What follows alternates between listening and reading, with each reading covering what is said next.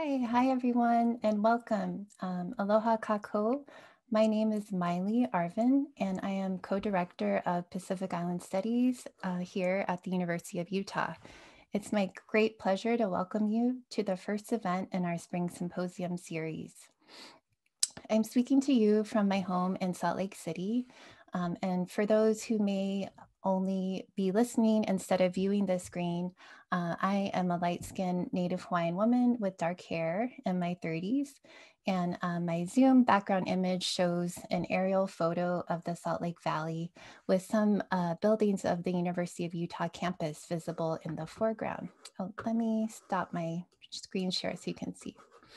Um, yeah, and um, in the background are the Wasatch Mountains. And there's also a border of a red Pacifica pattern block U logo that represents our Pacific Island Studies program around, around the background. So this image of the beautiful land here reminds me to begin by sharing the Indigenous Land Acknowledgement written for the University of Utah. We acknowledge that this land, which is named for the Ute tribe, is the traditional and ancestral homeland of the Shoshone, Paiute, Goshute, and Ute tribes. The University of Utah recognizes and respects the enduring relationship that exists between many Indigenous peoples and their traditional homelands. We respect the sovereign relationship between tribes, states, and the federal government, and we affirm the University of Utah's commitment to a partnership with Native nations and urban Indian communities through research, education, and community outreach activities. So I really hope our words here today, though focused on Pacific Islanders, remain in good relation with the Ute, Shoshone, Paiute, and Goshute peoples. Thank you to Dean Catherine Stockton for her support of this event and Pacific Island Studies overall, as well as our funders, the Mellon Foundation and the University of Utah's Global Learning Across the Disciplines Grant from the Office of Global Engagement. This series, Pedagogies for Indigeneity and Diaspora, Pacific Studies at Home and Abroad, brings together a number of teachers, activists, and community leaders to talk about what it means to teach Pacific Studies in the current moment. In the pandemic fueled shift to online teaching and conferencing, what are the pedagogies, both old and new, that Pacific Islander scholars, activists, teachers, and performers are drawing on to educate and foster knowledge relevant to Pacific Islander people. So this panel is the first of four panels happening uh, today and tomorrow and follows um, from a launch panel that happened on March 18th. Throughout the symposium, we take special inspiration from the work of the late scholar and poet Teresia Teaiwa. Her work, which so creatively transgressed disciplinary boundaries, continues to offer a vibrant model of teaching Pacific studies at home and abroad. The title of the panel today, Oceanic Fluidarities, like the titles of all the panels in the symposium, are quotes from her work. Within the broad topic of Pacific Island Studies pedagogies for indigeneity and diaspora, this panel focuses specifically on issues of gender and sexuality. So the structure for the panel will be our moderator will introduce the panelists and then each of them will have about 10 minutes to present and discuss their work. Then there'll be some time for panelists to dialogue before opening it up to questions from the audience. So please feel free to add questions to the Q&A box during the event, and we'll, we will select as many as we can within the allotted time for panelists to answer after their presentations and dialogue. Also, please note we have live captioning available during this event. Uh, to enable it on most Zoom platforms, you can look for the CC or closed captioning button on the menu of the meeting controls at the bottom of your Zoom screen, and simply click on that button to view the captions. Some viewers may also need to select show, show subtitle after clicking the CC button. Um, and in the chat now, um, our team will be sharing some links to some related Pacific Islander programs and opportunities. And I'll say a bit more about those at the end of the panel, but just in case um, we miss you before then, you can find the uh, links in the chat now. And with that, um, I'll introduce you to the moderator for today's panel, our Pacifica Mellon Dissertation Fellow, Tanjerine Vei. Uh, Tanjerine Vei is a PhD candidate in education, culture, and society at the University of Utah. Their research focuses on the development of pedagogies that promote critical consciousness and healing, spiritual activism, and community building. A central focus of these pedagogical approaches is creating teaching and learning environments that take on a playful spirit that can facilitate dialogue across difference. Within this approach, art making broadly defined becomes a means for both generating personally meaningful creations, as well as for engaging in collective processes of meaning making as participants explore the personal and systemic complexities of current social issues. Their dissertation titled Spiritual Activism and Activist Education, Examining the Spirit of Transformative Pedagogies, is a critical participatory action research project wherein the research conducted is in community with those for whom the research is intended. In this project, a team of activist educators utilizes queer phenomenology to trace the presence of underlying oppressive forces that can manifest in activist approaches to teaching and learning, and seeks to turn spiritual activists and decolonial ideologies as guides for undoing and creating anew their educational practices in an ongoing process of studied change. Tanjerine is also an artist and gardener who enjoys creating visual art on paper and canvas, as well as in living landscapes. And they delight in making kombucha and taking care of their three cats with their partner. So mahalo, Tangi, I'll turn it over to you. Thank you, Maile, for that introduction. Um, I too am coming to you today from my home in Kokorni, which is the Eastern Shoshone name, the place we now call Salt Lake City. Um, I am a light-skinned biracial genderqueer person with short curly hair.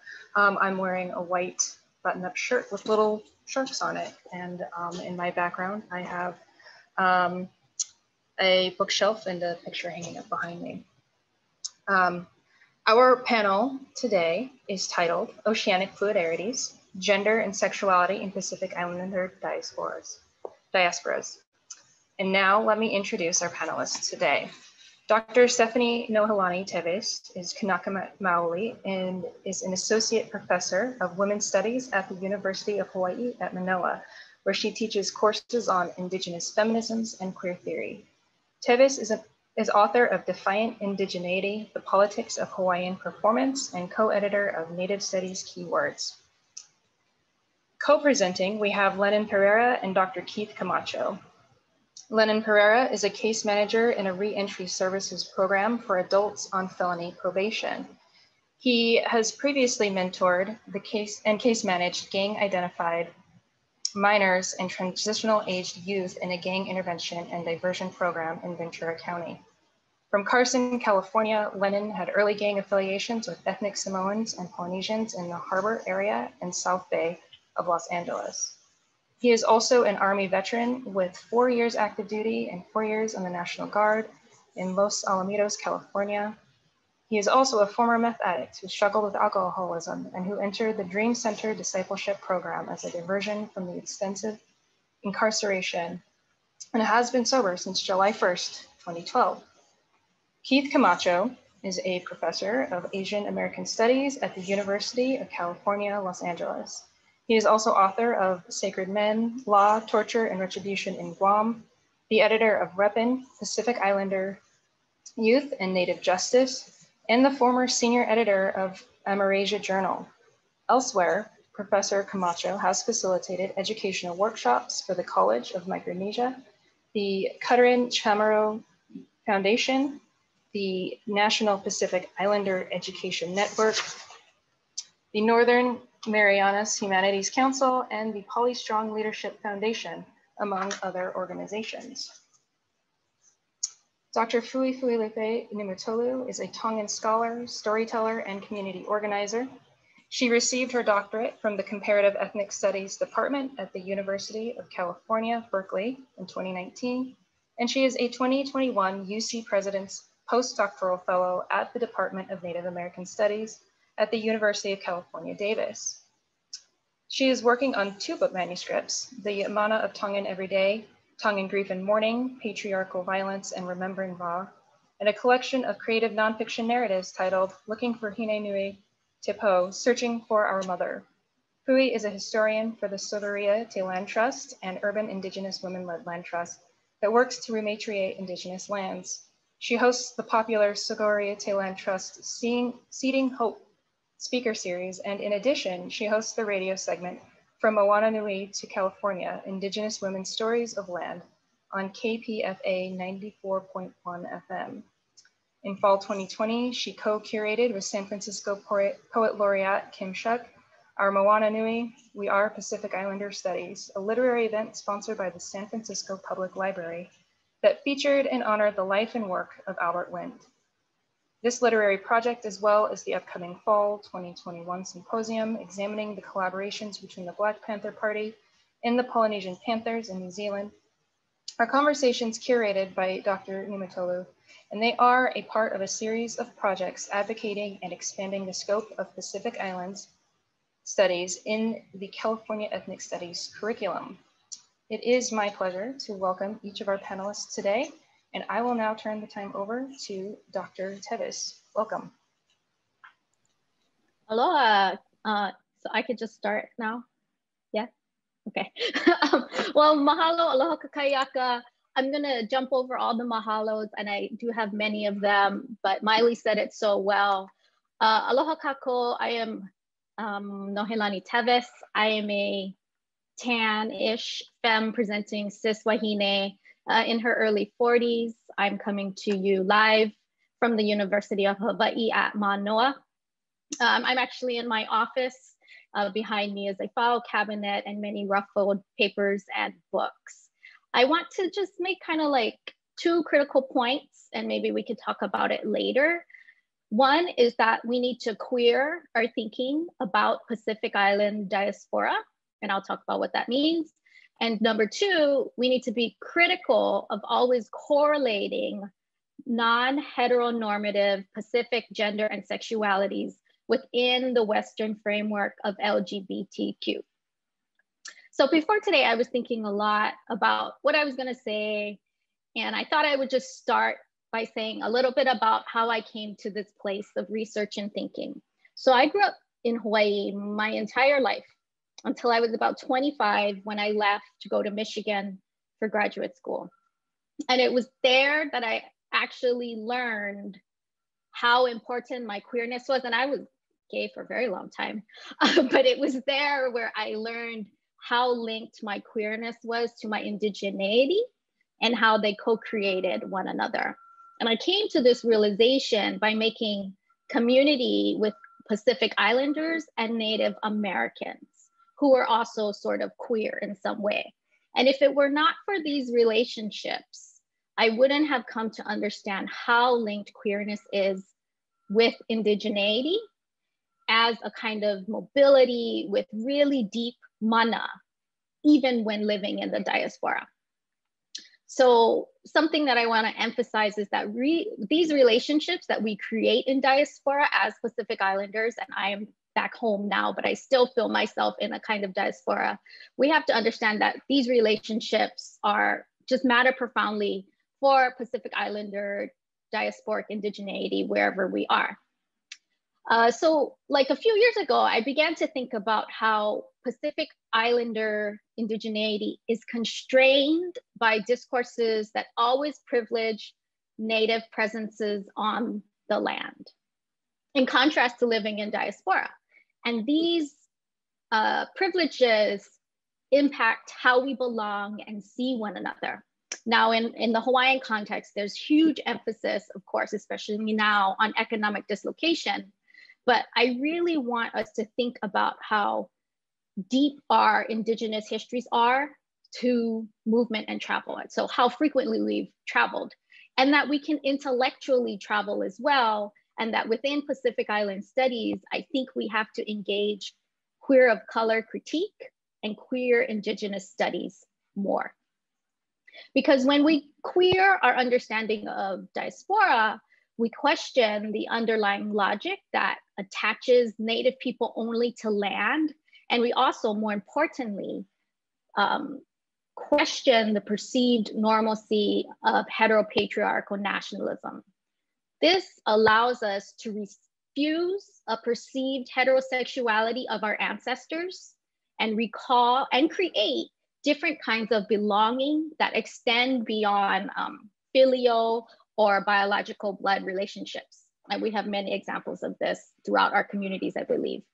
Um, Native feminists have talked about this, such as Maile Arvin, who is here, Kehaulani Kauanui.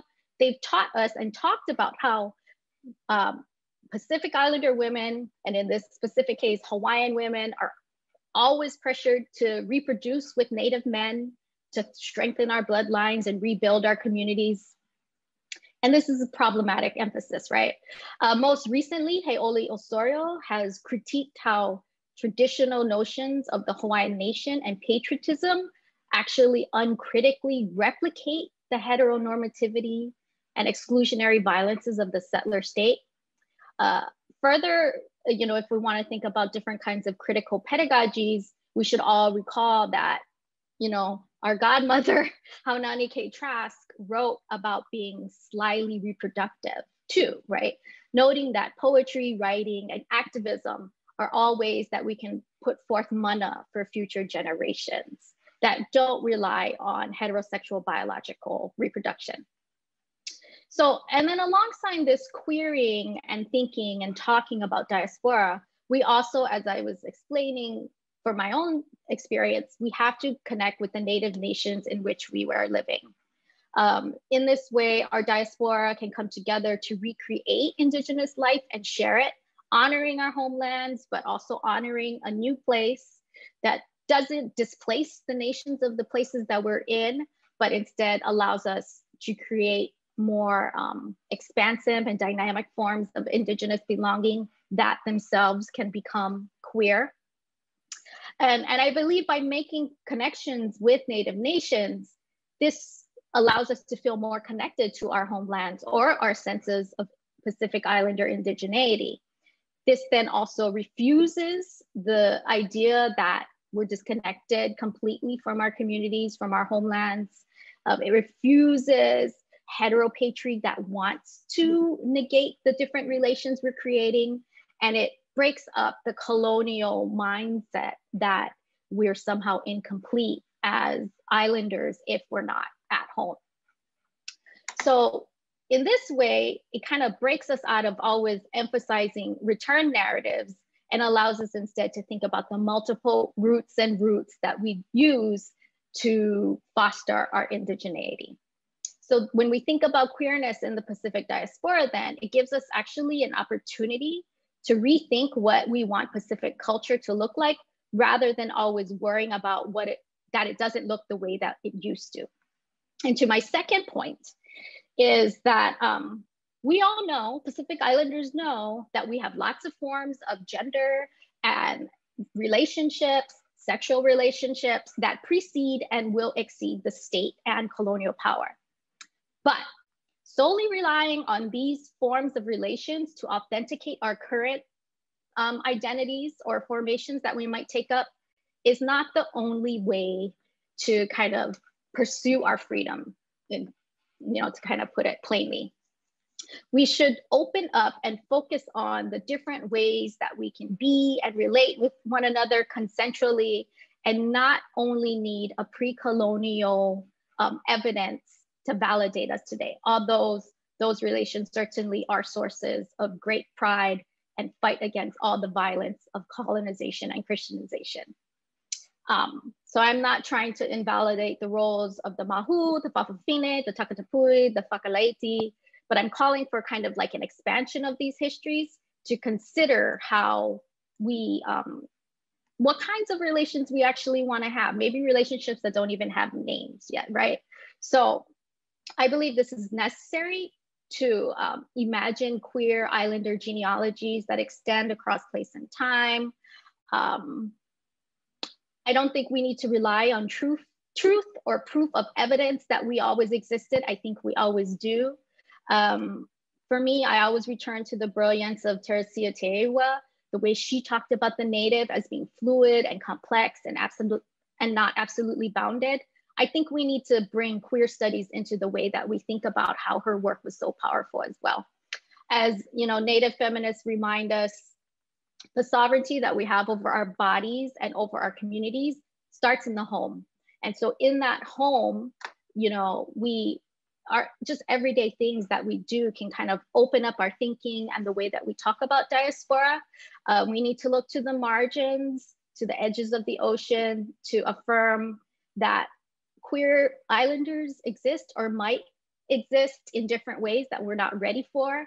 I think the future generation is showing us a lot of exciting things and we have to be open to them and let them be, you know what I'm saying? Um, and that we need to let them have space to tell their stories and we have to also um, tell different stories. Uh, we can't tell all of them, obviously, but I believe that when we acknowledge our varied histories of movement, we can reimagine what kind of futures we want for ourselves um, in the home or you know in the homeland or in the diaspora. And I think that's my time. Mahalo.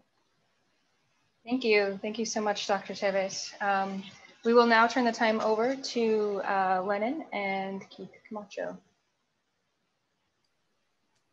Uh, mahalo and thank you, um, uh, Lani and uh, Hafide Tanji, Hafide uh, Tautau Pacific. Hello, everybody in uh, Pacific region, the diaspora, etc. My name is Keith uh, Camacho. Um, what's that? Um, I am a light-skinned Chamorro person who lives and works in what the native Tongva call Tewaga, also known as the city of Los Angeles. A shout out to the Tongva peoples of this uh, great place. I'm also five feet tall and I'm wearing a black shirt. And my Zoom background has the image of um, a forest, a green forest area with a parking lot nearby. And so it gives me pleasure to uh, join you. I'll talk for about four minutes and then uh, my colleague and friend, uh, Len Pereira will, will join me thereafter. and given our emphasis, and I, oh, before I begin, I also want to thank everybody, Tanji, Angela, Hoku, uh, Fui Fui, Maile, uh, Daniel, everyone for, for putting together this amazing uh, series. I watched the earlier one uh, with David, Vince and company, great stuff. And so I'm excited to be here. Thank you again.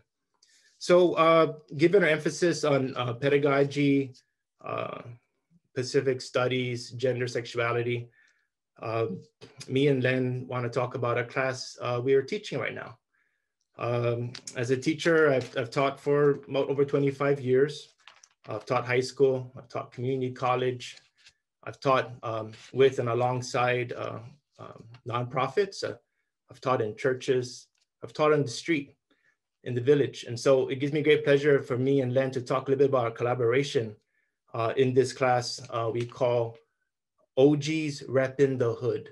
OGs Reppin' the Hood, colon, Indigenous Art, uh, Justice, and Service.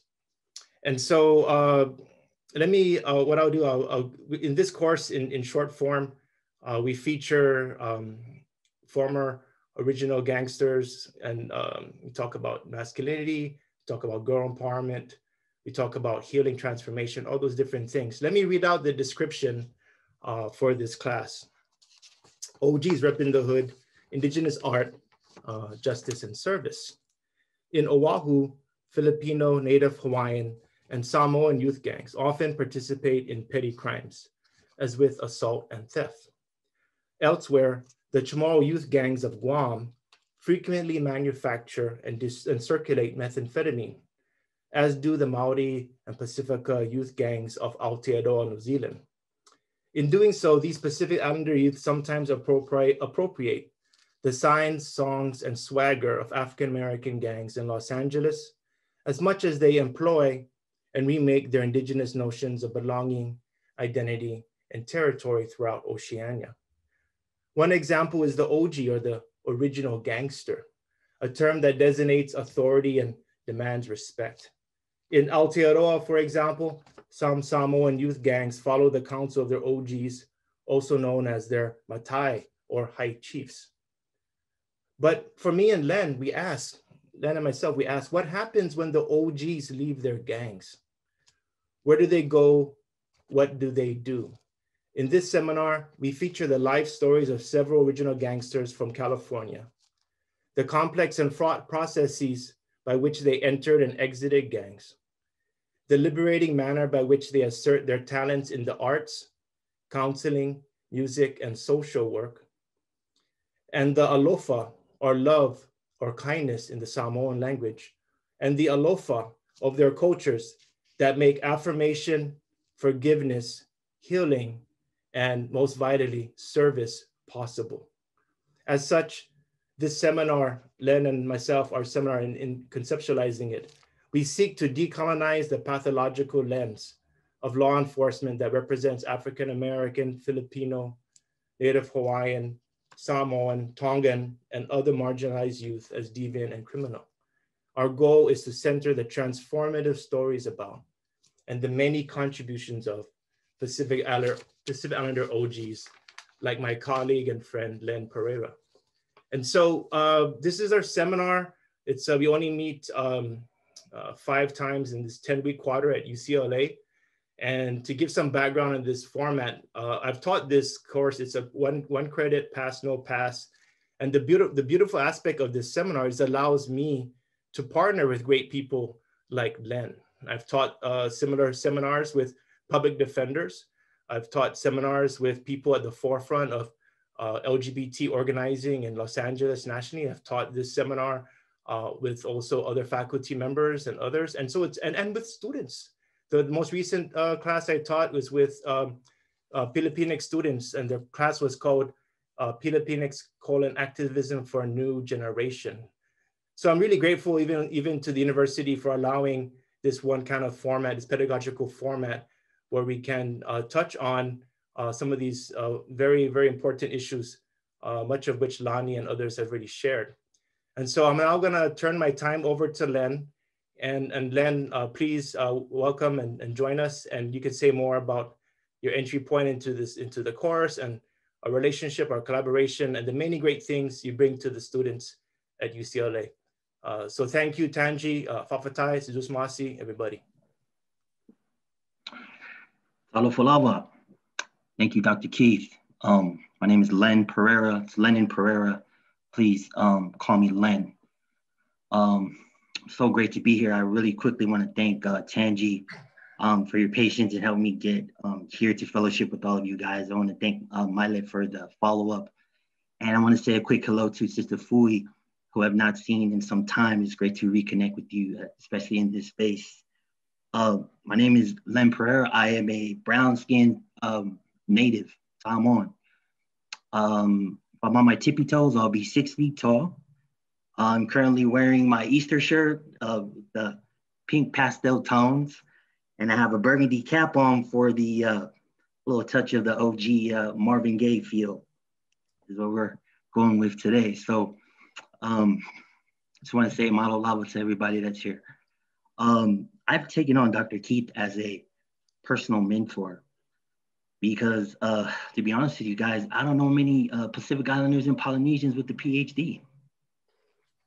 And when it came time a few years ago to make some necessary life changes, um, uh, into gain the insight into changing the people who I allow into my life that's why I'm grateful to Dr. Key, uh, Dr. Key for all these opportunities, especially uh, the focus of our class, which is called OGs Repping the Hood. Um, the class was great. We've had our first session. We just had our first session, and that's when I had my opportunity to share with the students. And the focus of that first session, uh, we posed the question of identity to the students. Um, it was a question that I posed and particularly identity around the age group of adolescence and puberty. Because in my personal experience, I struggled with my identity on a personal level around that time, the ages of 12, 13 years old, you know, middle school age. And if I had the right uh, guidance at that time as a youth, then I don't think that I would have been attracted to the gang lifestyle. Um, I chose, I put on that identity because um, I was, you know, fearful. And that time in a person's uh, life is, you know, the, the growth and the change and the hormones we, we all experience, the acne on your face, the insecurity, the fear. You're trying to figure out what group do you belong to, right? In a school, in a social setting. So I made the unfortunate mistake of identifying with um, the group that is socially responsible for a lot of negativity that we as a community are, you know, trying to undo, unlearn, and reteach and relearn, right? Better approaches, uh, better lifestyles. So identity was the main focus of that first session and, and, was what I want to share with the rest of my time is what I do these days. Um, I've worked in gang intervention programs in the city of Oxnard for um, basically from the ages of 12 to 25, which is transitional age youth, right? TAY, the TAY population, going into the, the juvenile halls and going into uh, the two county jails in Ventura County. And I'm only able to do that because I'm contracted to the county. I'm not a county employee because of my my unfortunate criminal history. But I still am given these awesome opportunities to, to work with youth and individuals who are just like me. Same upbringing, same home environment, same pressures.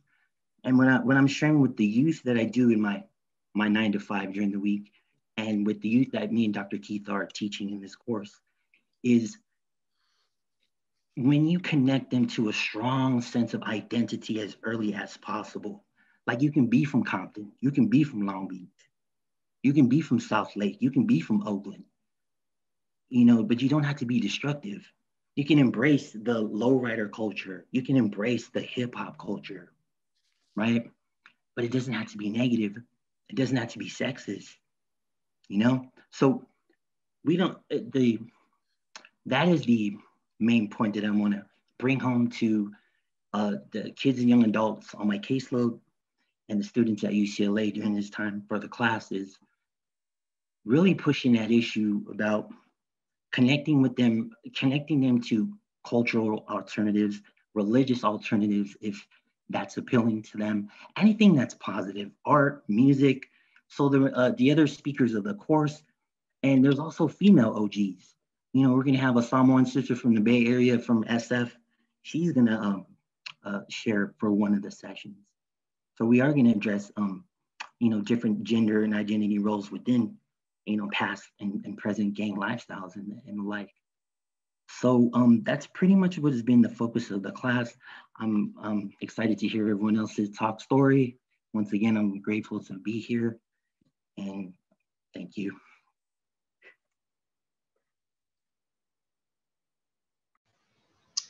Uh, thank you very much, Lenn and uh, Dr. Keith. Um, and now we will turn the time over to Dr. Niumetolu.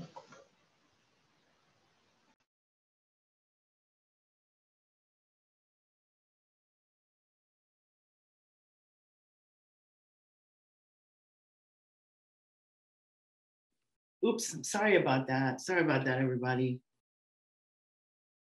Maloy lava, maloy lava kainga. Maloy la malie. Um, wow. You know, Brother Lenn, hey. It's great to see you. It's great to see you. You know, brothers and sisters, uh, I just really want to say how humbled I am. Really, how humbled I am to be here with all of you today.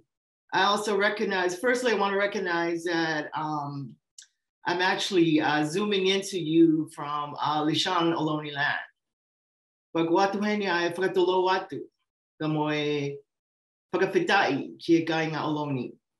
This is occupied, unceded Ohlone lands that I'm, on, that I'm currently on.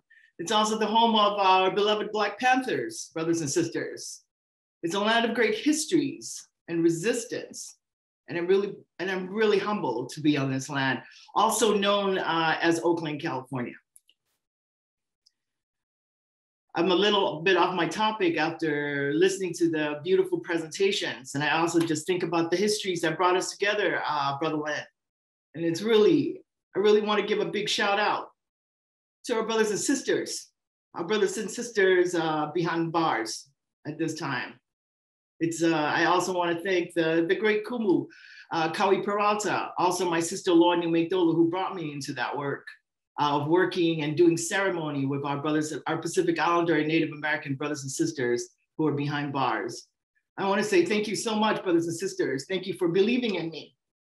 Because uh, you know, you know, brothers and sisters, I say this because there's a lot of uh, shame in it that it took me 13 years to finish my PhD dissertation.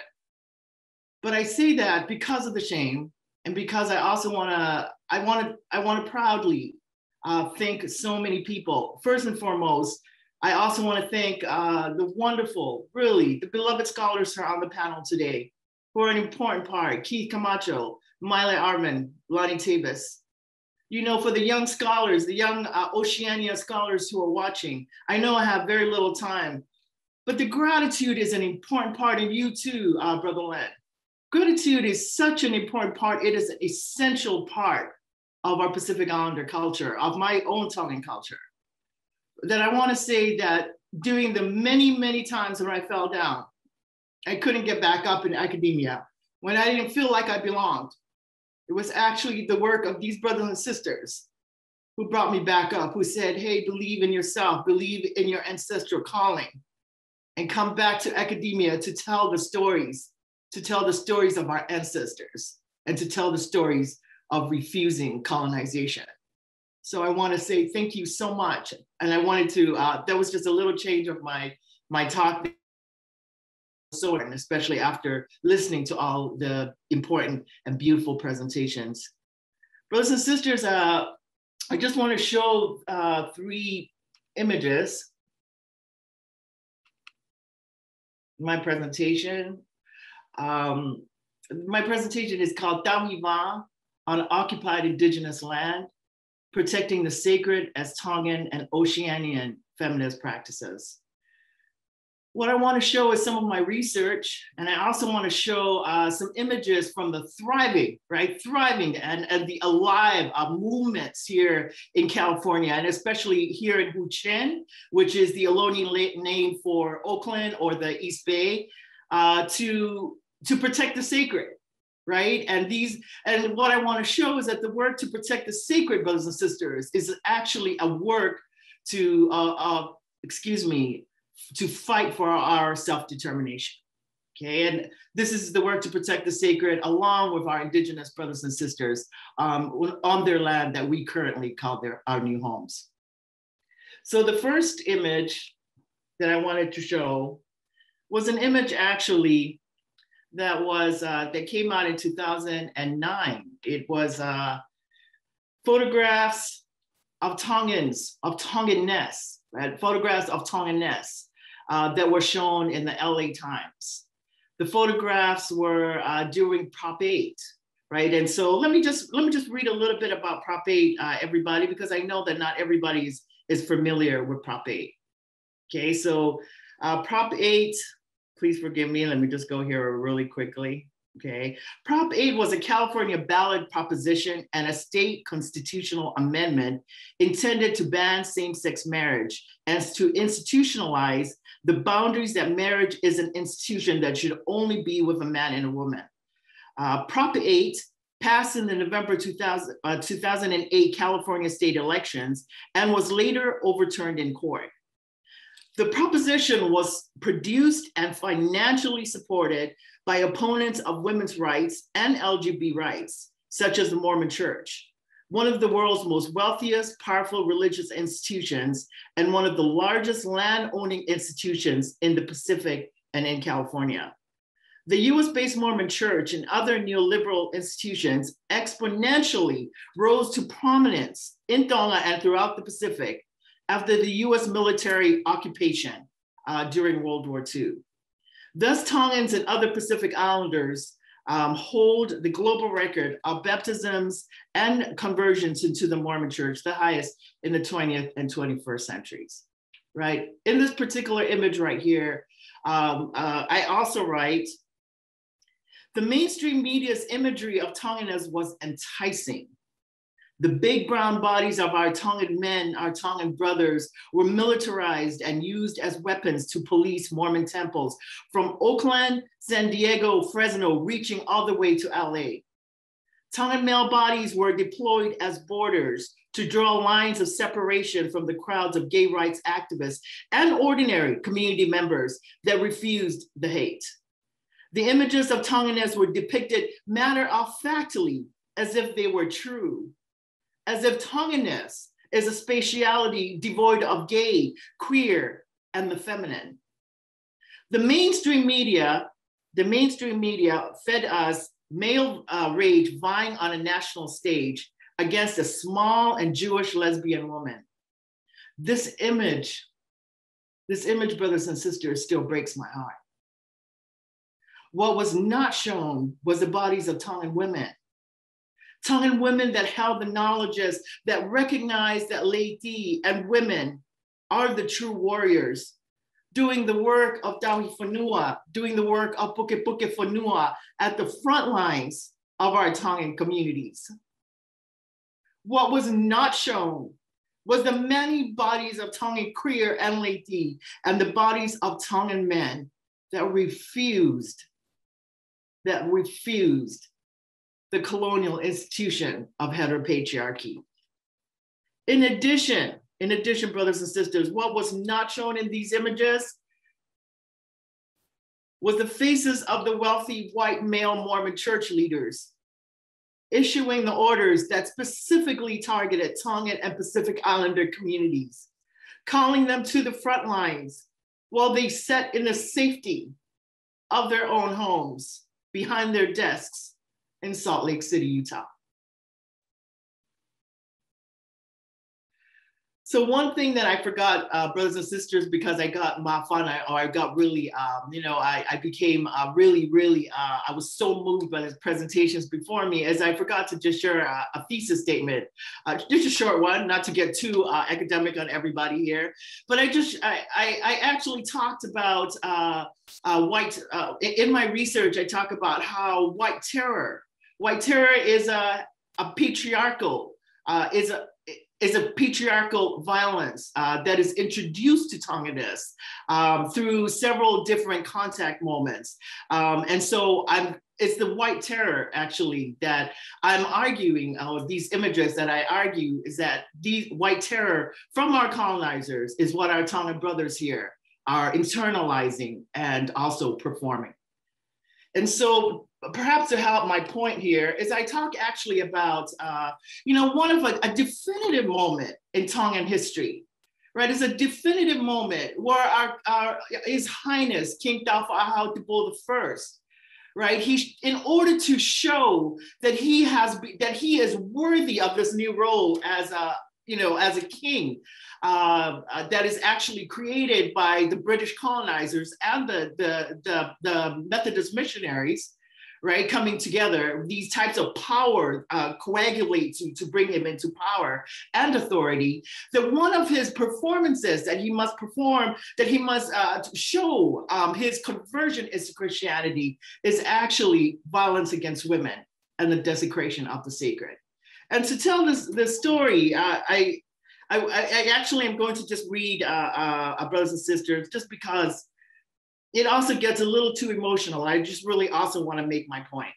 Okay, and so this particular version that I read is actually from uh, the Tongan historian's uh, Sione Latukefu from his important book, uh, Church and State in Tonga. Okay, so Taufa'ahau wanted to test the validity and power of the old gods and to discover by experience whether Jehovah was the true God.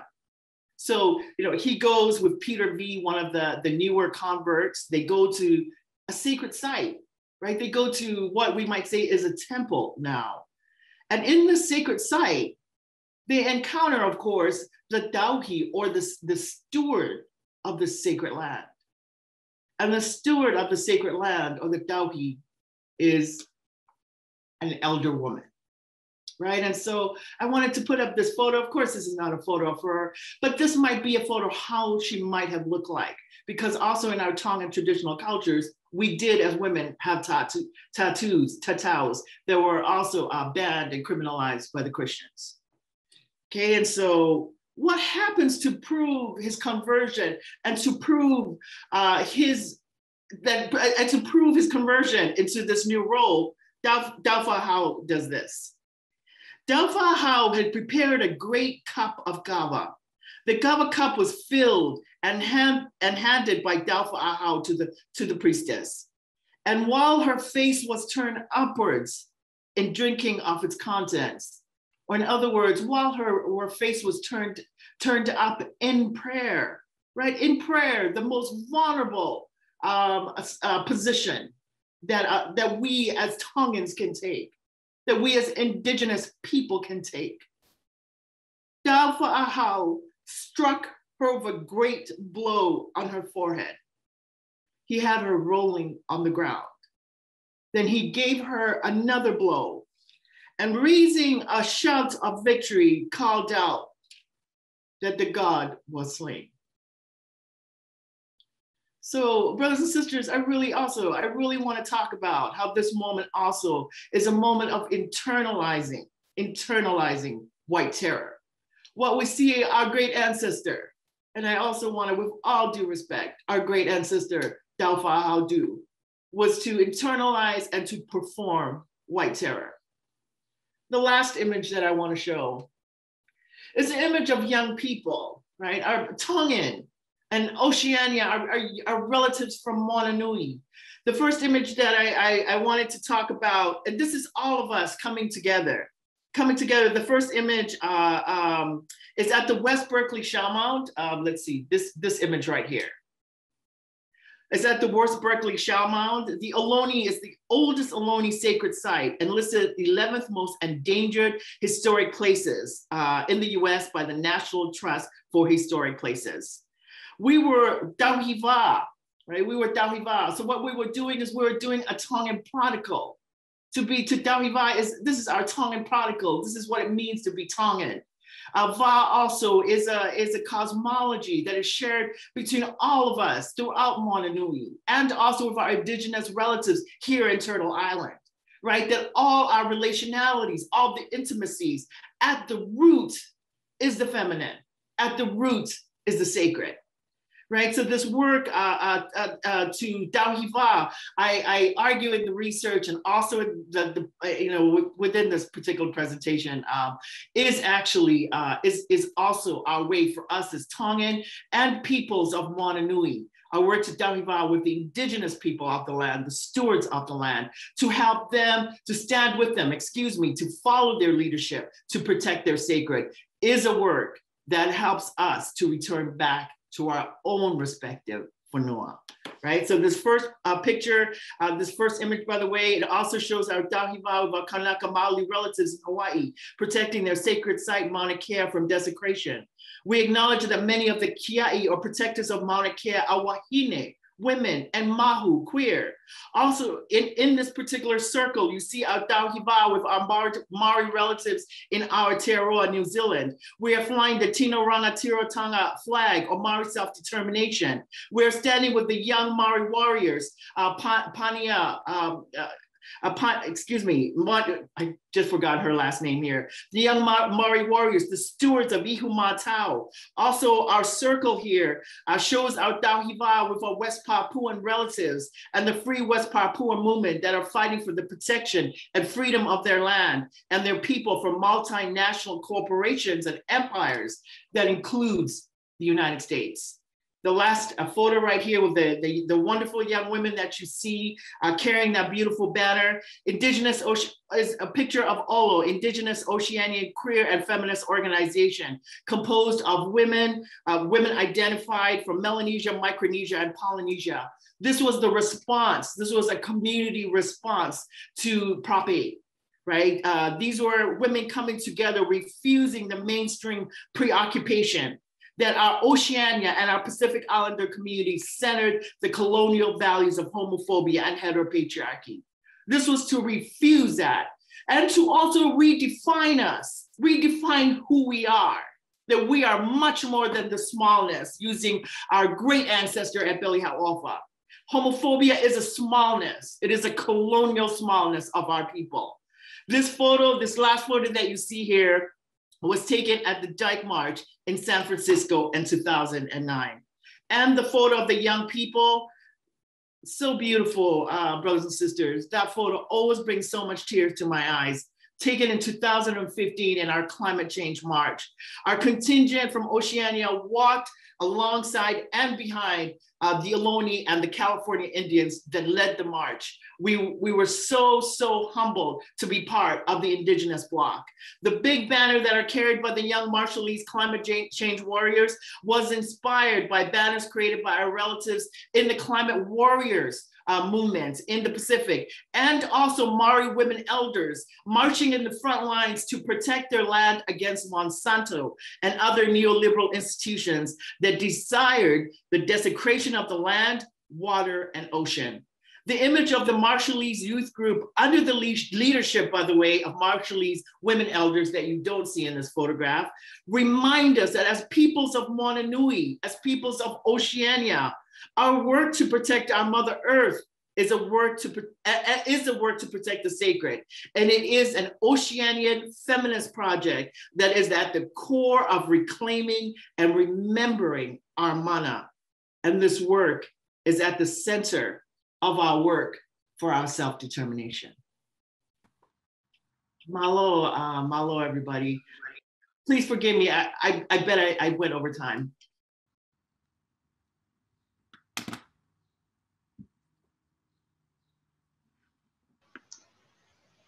Um, thank you very much, Dr. Niumetolu.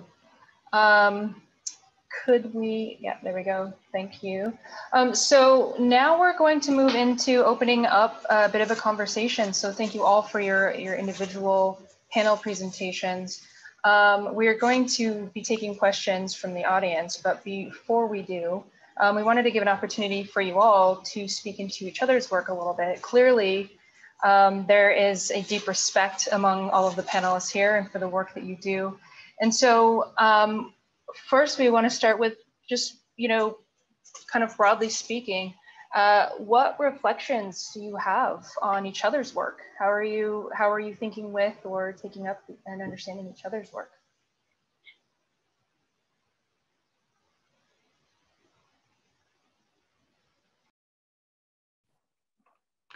I um, just want to say beautiful presentations from Dr. Lani and Dr. Fui. Um, I am um, relatively new to academia. So then when I have the opportunity to attend and fellowship, um, like in this um, presence today, I feel like a young student and I just soak everything up. I try to absorb, take notes, um, because such powerful information um, and I just I'm just benefiting on a personal level.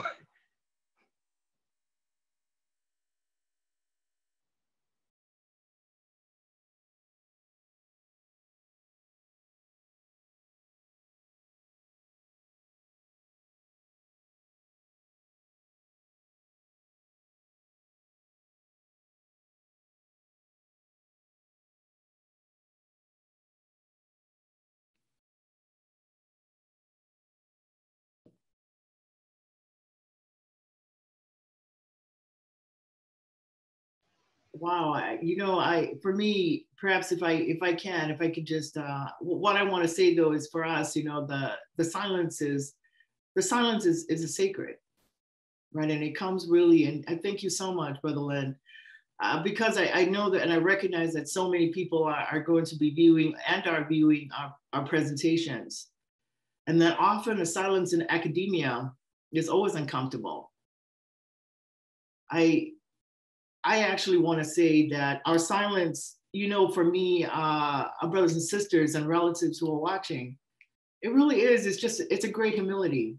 There's so much I want to say. And I think that that's really what's going on with our silences, if we perhaps could theorize it a little, because there is so much we want to say. You know, usually as Pacific people, I mean, I think about uh, my own role in academia, the marginalization, wow, to finally be in a panel uh, with Moananui uh, activists, community leaders, and scholars. It's so overwhelming. It's also so humbling that I am like you, Lenn, that perhaps then I also feel that my role is my role is also to learn. And that's exactly what I did today.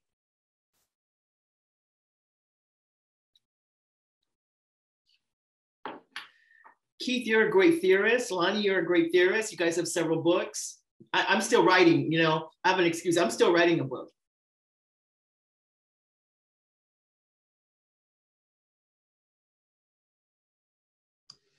I think just in short form to to um, um, address Tanji's question in short form, I think pedagogically, the challenge for me is always like how can we best communicate um, a lot of issues shared in this panel, a lot of things going on in our region, locally, etc.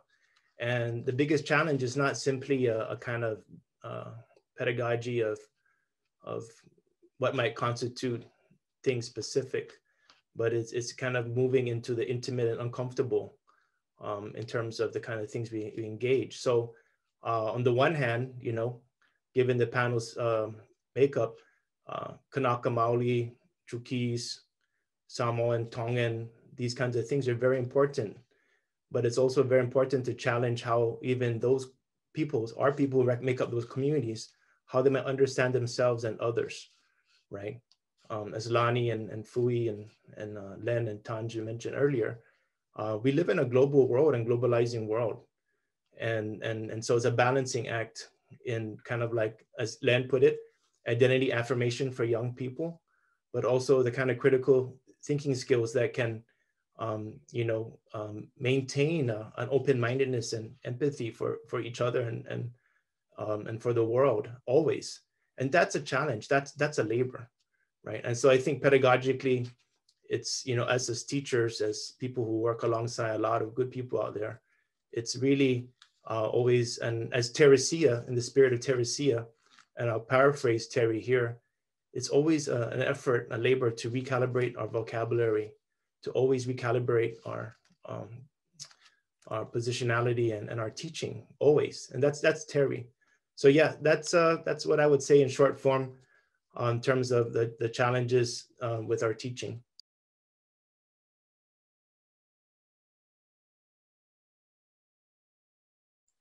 Should we try to answer the question that's been posed in the chat?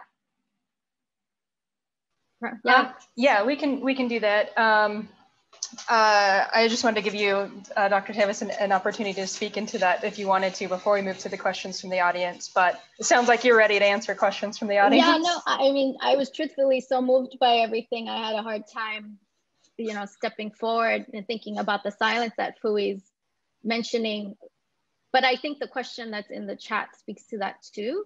Um, so it's funny, like I actually, like I said, I was queer, gay, whatever, for a very long time. And, um, you know, um, in your native, sorry, I'm gonna uh, read the question.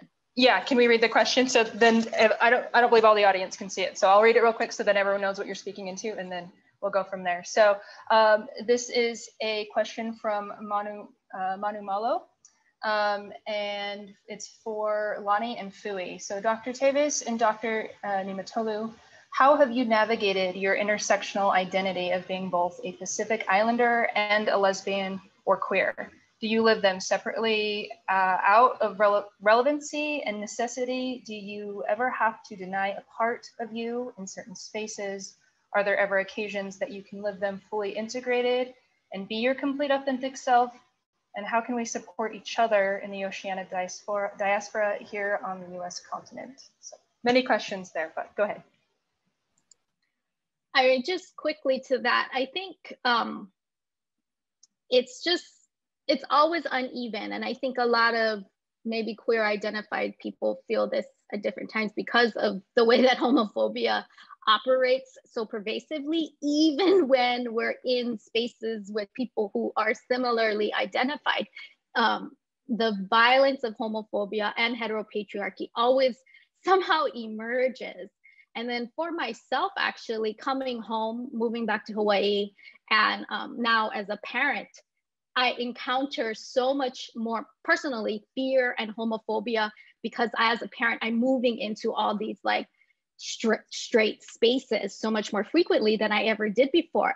And I, I'd be being just honest, like all the time, I'm, you know, you encounter all these assumptions. And I have the privilege of those assumptions because of being, you know, femme presenting. But at the same time, it's just this sort of constant reminder that you almost forget when you're always in queer space is how straight our seemingly straight our communities perceive us all to be and it's just so frequent even in academic spaces so like this is a very particular um, you know, special Zoom environment where we can maybe feel safer than other times. But I think it's something that's taken for granted a lot um, within Pacific Islander communities. And that's why, as Fui mentioned and everybody else mentioned, the education that we have to undergo amongst ourselves uh, in our most intimate spaces is so crucial. And these are hard conversations and there is a lot of shame. And it it's sad that it really doesn't go away. Um, but you figure out how to manage it in different ways.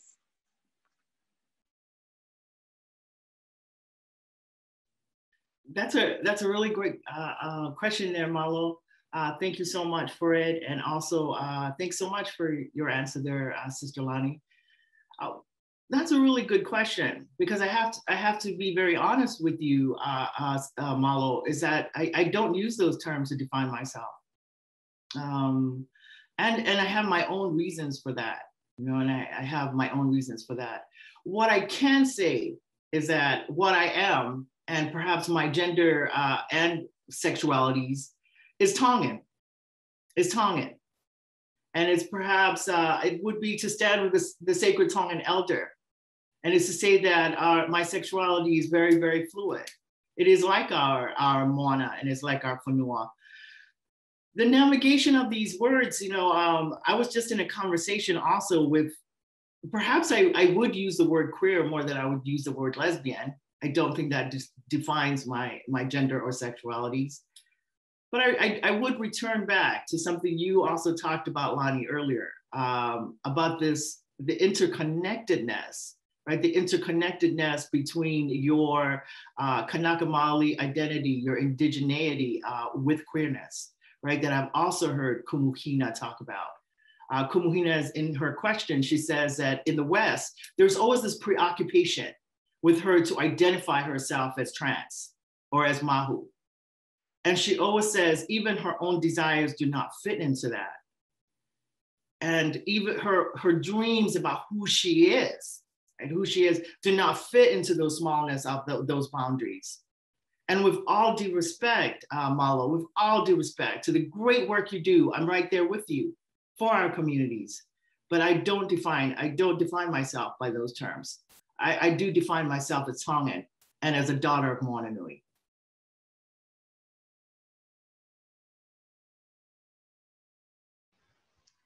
Thank you. Thank you for that. Um, the next question is from Hokulani Aikau, and it is, my question is for Lenn. How do you help young people see ways of being that uh, do not rely on sexism and homophobia? Very good question. Thank you. Um, to answer that, I'll draw on a little bit of my um, history and experience um, within the lens that I'm bringing to our fellowship today, and that's the coming from the lifestyle of the gang culture. And in that culture, it's full of homophobia. It's full of sexism. And at worst, I was a participant. And at best, I was indifferent to the LGBTQ population. Now that I um, have uh, progressed from that toxicity, right? It's a very good question because at first it had to start with me as an individual before you can teach it to someone else, right? It the identity um, that is strong within a person is they're going to be less susceptible to outside and negative influences, right? Like the gang culture. Um, if I was queer and I identified myself as such um, from the earliest days of my life, but I had a strong sense of identity. If it wasn't coming from the home, then hopefully in school or somewhere in my neighboring communities, wherever that would be, then I, like the question that's posed, um, I would have had a strong support system and been strong as an individual to uh, to rise above those challenges and those those setbacks that seem to be in every aspect of pretty much life in this society as we see it today, right? The transphobia and the sexism. So, and that's your question, whether it be kids in the class that we're teaching at UCLA or the people on my caseload, I I do have some clients who um, live in gang neighborhoods, but because they identify as gay, they're afraid to come out of their house. And I had to put on my case management hat and go over there and do everything within the limits of my power to provide services for this youth. You know, with the extra challenges of um, of, of, of that person being queer. So it's connecting people to their ethnic culture primarily. You know, in the county that I work in, it is predominantly Hispanic. And just reminding them of their rich culture and history. And on the occasion when I'm blessed to get a Polynesian or Pacific Islander uh, youth on my caseload, and really drilling home the culture, the, the, the, the, identity that exists in our culture and in, in our people. You know, like I said earlier, um, you know, hey, you can be from Carson, you can be from Long Beach, you know, and, be proud of where you come from, be proud of who you are in all different aspects, you know, even in how you identify as a person. But you don't have to be destructive. And as I, I, I seem to be um, saying that almost like on a weekly basis, especially when I go into the county jail. You could be from Oxnard. You can be from whatever society deems to be the hood or the ghetto. Those are archaic terms, if you remember those, right? But you don't have to push that. You don't have to push that line. You don't have to push that agenda. And the, it may be more challenging, challenging for someone to plug into uh, Latinx art or, or, or groups or, or spoken word or lowriders, car clubs, whatever they may be right? For Pacific Islanders and for our people um, coming into spaces like this, pursuing a higher education, despite what your home life looks like, right? So I guess to answer the question that's in, in, in summation would be connecting a person with their community and cultural identity and having a strong supportive system. That's how that's how somebody can rise above, rise above their challenges.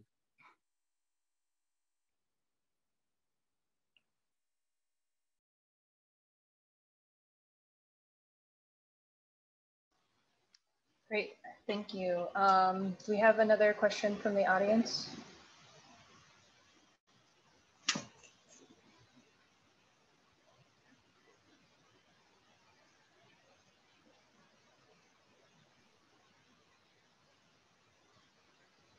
Angie, can, is it okay if you can read that question for us? It just seems like my um, chat is not really working. Um, Okay, yes. Um, so this question is um, for um, Keith and Lenn from Vince Diaz.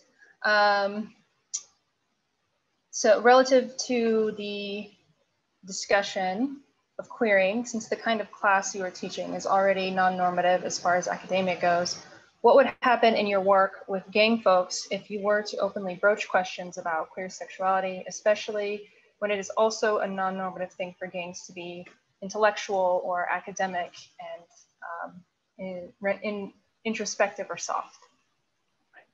Uh, Dr. Keith, you let me go first so that you can have some time to share. I just probably want to just throw a, a 60 second answer because this is such a great question.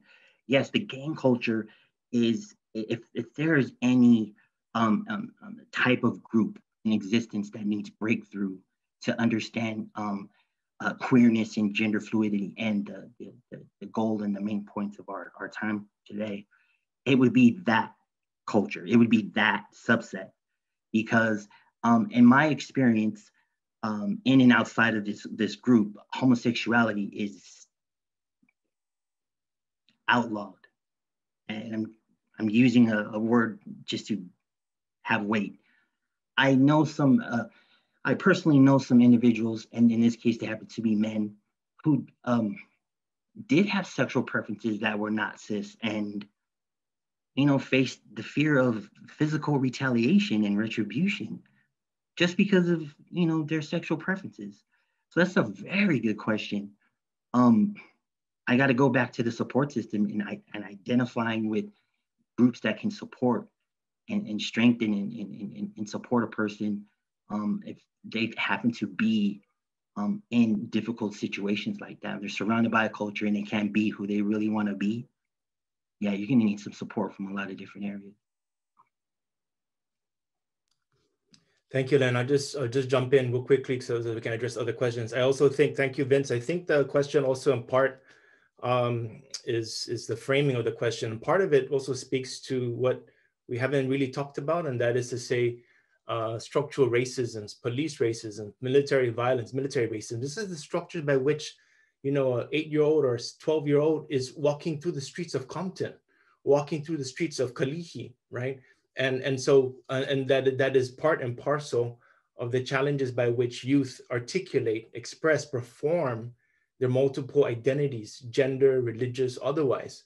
And so i think um, we have to hold that up as a caveat as, as suspend that for a moment knowing that you know uh, with respect to samoan or polynesian or latinx uh, um, gang so-called gang communities that first and foremost is a political resistance to uh, US state violence, sanctioned violence ongoing in California, in Oceania, and elsewhere. So I think we need to kind of like not forget that there's that kind of um, uh, social, political, economic realm at play. On the other hand, from my experience with Lenn and in working with OGs over the years, uh, particularly Samoans, incredible alofa, incredible love. I, I this, this the, the, but this that goes to the pathology of, of the youth today, the pathology around the youth, around, around so-called deviance, and, and more broadly, around youth subcultures, right? There's a great literature out there on, on the, the you know, um, youth, sub, youth as, as really transformative uh, change actors globally. Um, I mean, a lot historically, we could even take a historical lens to this uh, in many, many different cases about the ways in which youth uh, are changing our languages, shape, reshaping our identities, uh, again, across gender, sexual, religious uh, norms, always, always. And I think, uh, I think with uh, Lenn and ourselves in this course, we really want to center the alofa of, of Samoans and Palis and other island people, indigenous peoples, the love, the incredible love uh, and struggle and transformation. And that to us is, is the most important uh, trajectory and intervention uh, not to you know hold up lightly those other structural challenges. But yeah, I, I think um, you know it is something um, you know that Lenn and I and us and the students are working to. But great question, thank you. Great, thank you. Um, this next question, it's a little bit long, so bear with me. Um, this is for um, Lani and Fui from Pengan Ado. Um, in Boston, I teach an Indigenous film course, and I wonder how we might use the pedagogy embedded in the kind of visual culture that Indigenous Pacific Islanders are lately producing in the last few decades. Visual culture that potentially reaches the masses, but that can also be misinterpreted.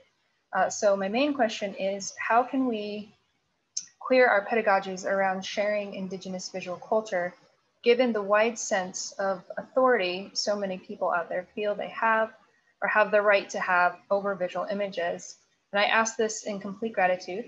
Um, and uh, as a cisgender, sorry, my chat's moving around. Um, well, you, you got the, the main question there. So if either one of you want to speak into that.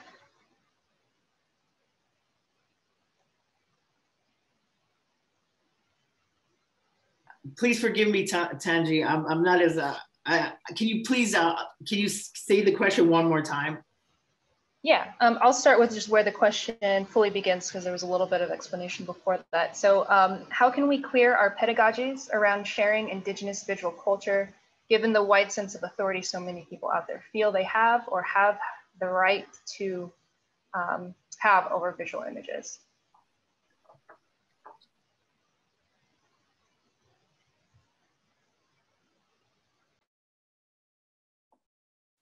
Oh, that's a good question. Well, Lani, Lani, I. Thanks, Fui. That is, I mean, that is always a really, really tough one. And I think we know throughout um, the Pacific and Pacific Islander film or images and things being created by Islanders themselves, there's so much risk with appropriation and there's a lot of ways to think about it and a lot of people have written about it um, for myself like when you're teaching I just try to really emphasize to students who are completely unfamiliar with the content that this is not for them to own or take, right? And even this content they're viewing isn't even necessarily for them to understand. That the understanding they get from it is just quite small compared to the depths or the deepness of the mana in which they're um, getting to see. So like, for example, the film Kapaemahu or even Kumu Hina or Ke Kulana He Mahu or, um, you know, even things outside of this specific topic, um, that they're only getting a partial understanding and they can see it and learn from it and use it as a way even to think differently about their own worlds and even the limits of, you know, the, the world that they live in. But it's not for them to own or possess or even as an identity to take on. I think that's similar to another question that was asked about non-native students identifying with two spirit or being inspired by it.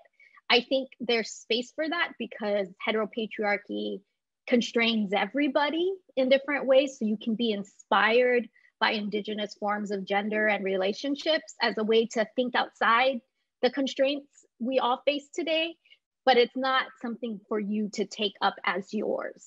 So I try to get students to understand that and for them to understand their relationship to the material they're viewing or learning about. Thanks so much, Lani, and thank you so much for the question. You know, I was thinking, um, I was thinking about the the images that that I showed, the three images, um, the first one, which is just a, a really important image for me, um, the image of, um, oh, I was just going to show it, the image of the, the young Marshallese, uh, uh, young, young youths uh, in front of the, the banner right? The, the banner is uh, um, uh, we are fight at the end of the banner says that we're not drowning, we're fighting for our mokopuna, right? Or the next seven generations. I think about all the, the activist projects that we do here in the Bay Area um, that I'm a part of, and I really follow the lead of other uh, activists who came before me and in other organizations, that we work specifically, we understand the importance of the narrative, and we want to be uh, the creator of those narratives. We want to know how these narratives are being um, navigated and consumed. I mean, you know, to the best that we can. Of course, we can't control all of it, but a big part of what we do is we work with Indigenous um, photographers right? Or also we have white allies uh, as well that we work with who have a long history. So we have ava, perhaps is what we could say. We we tauhiva with these particular uh, individuals, photographers, artists, um, journalists, right? So they we know that they have a commitment to us in telling the story in a particular way. So that particular photograph was taken by a really good friend, uh, a white journalist, uh, uh Dan Batcher.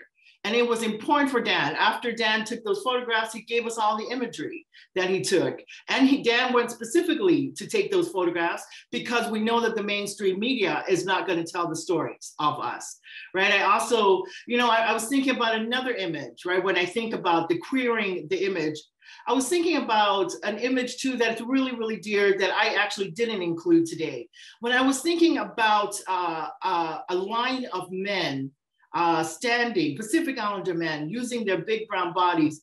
I think uh, I think of, of the men uh, of, of, a beautiful photograph that we took of our brothers uh, in Solano prison a couple years ago with my sister-in-law Niumetolu as uh, one of the, the leaders of that project. This is just right after the, the men had, uh, had offered, excuse me, the native Hawaiian chant, uh, I Ku Mau Mau right? Ikumama. What a beautiful chant. And this is right after they had taken it. And we took a photograph. Um, some of the other um, counselors who also came in took a photograph. And it's a photograph that I keep with me. But it's a photograph also that I chose deliberately not to show today because I wanted to uh, I wanted to honor the men and their confidentiality. And also it was just a photograph. I was thinking about uh, the image imagery of the men as well. Um, it was also commitment to their stories because I'm also writing part of this book project is I'm also writing their stories. But this was also, I think about it in relation to this question, right? When we talk about queerness, part of working with the men in the prisons is you also You know these stories that are not also told in the mainstream, including the mainstream in our Pacific communities, that the men's desires do not fall, like our brother Lenn said, do not fall into the cis uh, heteronormativity uh, lenses, right? But these are also stories that as a Pacific Islander practitioner, perhaps so to speak, right, a Tongan practitioner, it's important for me. Those stories are, are so important. They also they not only fuel the work that I do because I also know these particular narratives that these men share with me, but for them, just like it is for me, right? Just like it is for me, like how I answered your question, Marlo. These men would identify as Samoan, and a particular man would, a particular brother would say, Fui, to be Samoan is to also be queer, if I might also add into his, his quote, simultaneously, right? So I think also, Marlo, that's also how I'm answering your question. When I say that I, that I identify as Tongan and as a daughter of Moananui, that heteropatriarchy is a Western construct. It is part of this white terror so when I say that I don't use these particular terms as well within this carceral space, right? California as a carceral space, as the First Nations people will tell us that this is a carceral space. So in this carceral space, who I am and how I identify and my self-determination. When we say that we're Tongan, like this man, this brother says he's, he's Samoan, it encompasses all of that, all the dreams and those possibilities.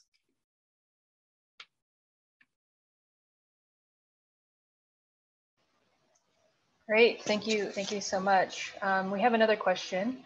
Um, this one is from Malsina Falau, um, and it's for any, anybody. Uh, my question is directly to the racial bullying issue some Micronesians are facing in Hawaii.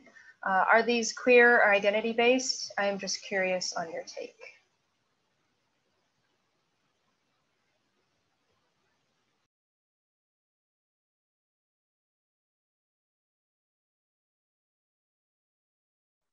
I have some quick input on that. I like to compare um, what I've noticed just in my own um, personal studies is the plight of a new immigrant group coming into an area where there are existing groups. Uh, let's take the, um, uh, the people from El Salvador who came over in the 1980s as a result of the uh, conflicts that they were having down there. And a huge group of them moved into the MacArthur Park area of Los Angeles in the, the late 1980s, and there's already the the Mexican and Black communities were already been strong there for 100 plus years. They experienced bullying, being the, um, for lack of a better term, new kids on the block, so to speak. And from that bullying and harassment, like the question is being posed, was birthed the MS-13 gang. So thinking about how one immigrant group moves into an area and the things that they uh, experience. I currently work with, um, in the city of Oxnard, there are a group of people called Mixtecos, who are indigenous um, uh, uh, people from the, the uh, what's the name of that state? Oaxaca is the name of the province, but these are the indigenous within that province. So you already have the existing generations of Mexican people who've been working the fields in Oxnard, um, the Oxnard Plains area how it's identified. And now this new immigrant group on the block, and they are totally indigenous. They don't even have a written language. they're experiencing bullying. They're experiencing har uh, harassment. Now, I don't know what the remedy is. I'm just uh, sharing uh, just my personal experience and just seeing how when groups migrate, just the challenges that they face in these different ways.